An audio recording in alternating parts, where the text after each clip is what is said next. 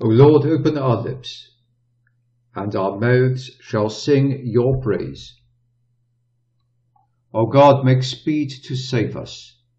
O Lord, make haste to help us.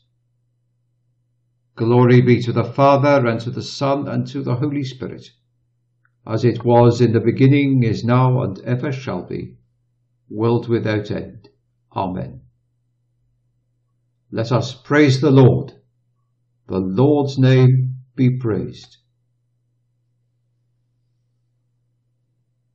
I believe in one God, the Father Almighty, maker of heaven and earth, of all things visible and invisible.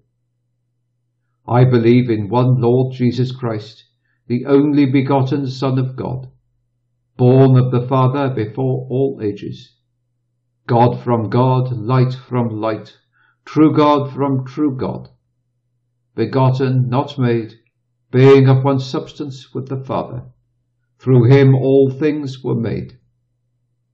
For us men and for our salvation he came down from heaven, and by the Holy Spirit was incarnate of the Virgin Mary, and became man. For our sake he was crucified under Pontius Pilate. He suffered death and was buried and rose again on the third day in accordance with the Scriptures. He ascended into heaven and is seated at the right hand of the Father. He will come again in glory to judge the living and the dead, and his kingdom will have no end. I believe in the Holy Spirit, the Lord, the giver of life, who proceeds from the Father who with the Father and the Son is adored and glorified, who has spoken through the prophets. I believe in one holy Catholic and Apostolic Church. I confess one baptism for the forgiveness of sins, and I look forward to the resurrection of the dead and the life of the world to come. Amen.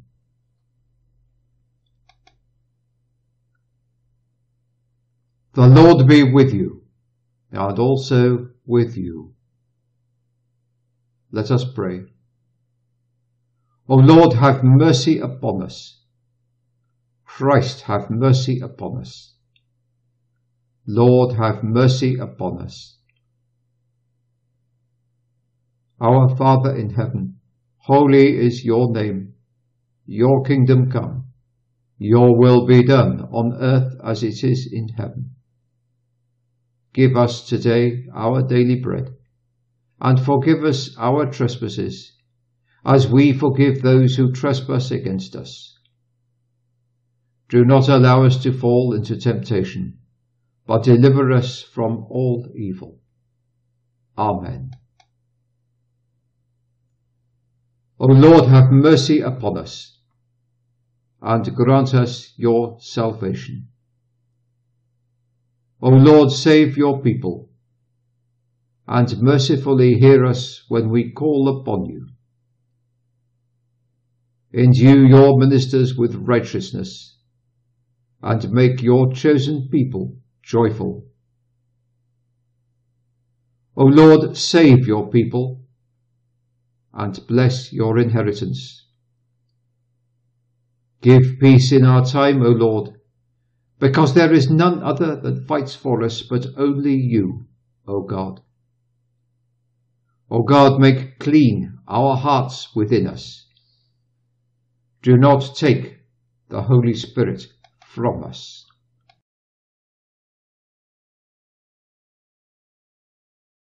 The Book of Ecclesiastes, chapter 11.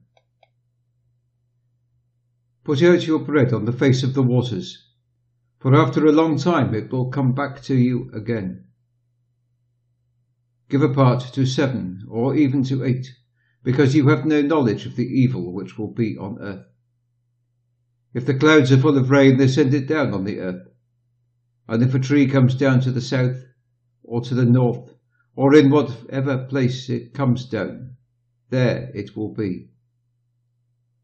He who is watching the wind will not get the seed planted and he who is looking to the clouds will not get in the grain. As you have no knowledge of the way of the wind, or of the growth of the bones in the body of her who is with child. Even so you have no knowledge of the works of God who has made all. In the morning put your seed in the earth, and until the evening let your hand not rest, because you are not certain which will do well, this or that, or if the two will be equally good or bad. Truly the light is sweet, and it is good for the eyes to see the sun. But if a man's life is long and he has joys in all his years, let him keep in mind the dark days, because they will be great in number. Whatever may come is to no purpose. Have joy, O young man, while you are young, and let your hearts be glad in the days of your strength, and go in the ways of your heart, in the desire of your eyes. But be certain that for all these things God will be your judge. So put away trouble from your heart and sorrow from your flesh, because the early years and the best years are to no purpose. This is the word of the Lord. Thanks be to God.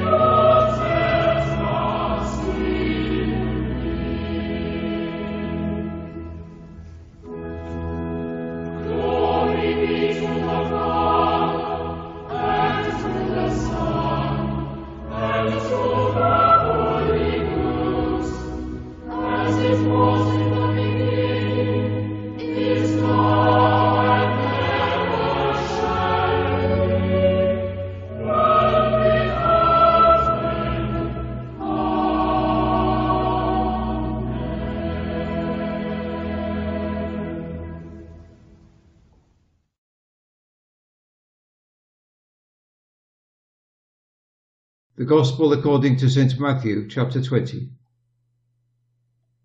When Jesus was going up to Jerusalem, he took the twelve disciples on one side and said to them, See, we are going to Jerusalem, and the Son of Man will be given into the hands of the chief priests and the scribes, and they will give orders for him to be put to death, giving him up to the Gentiles to be made sport of, to be whipped, and to be put to death on the cross.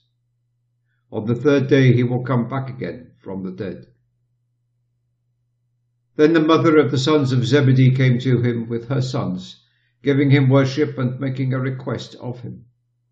He said to her, What is your desire? She said to him, Let my two sons be seated, the one at your right and the other at your left in your kingdom. Jesus answered and said, you have no idea what you are asking.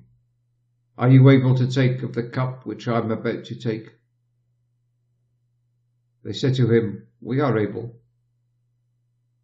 Jesus replied to them, Truly you will take of my cup, but to be seated at my right hand and at my left is not for me to give, but it is for those for whom my Father has made it ready.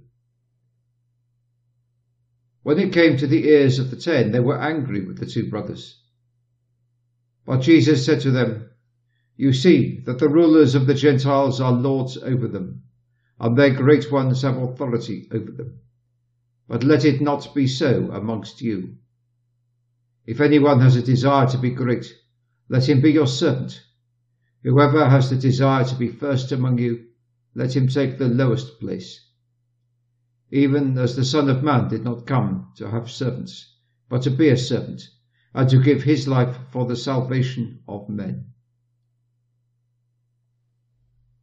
While they were going out from Jericho, a great number went after them. Two blind men seated at the wayside, when they heard the news that Jesus was coming, gave out a, loud cry, saying, Lord, Son of David, have mercy on us. The people gave orders for them to be quiet, but they cried out even louder, Lord, Son of David, have mercy on us. Jesus, stopping, sent for them and asked them, What would you have me do for you?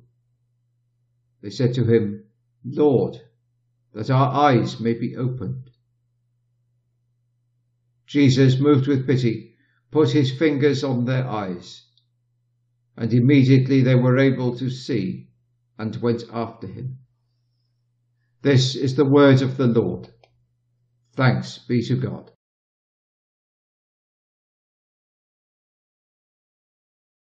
Collect for Peace.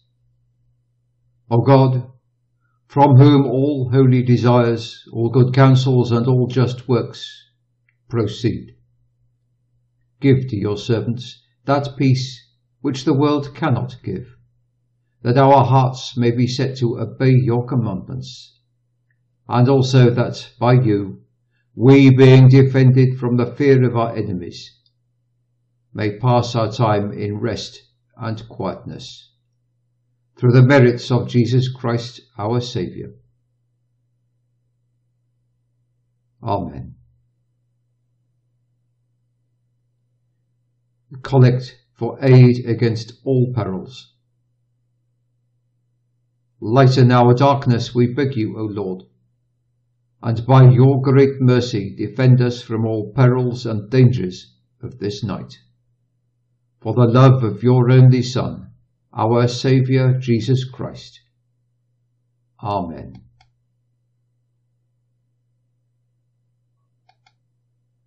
We pray for the work of your faithful servants around the world, Lord.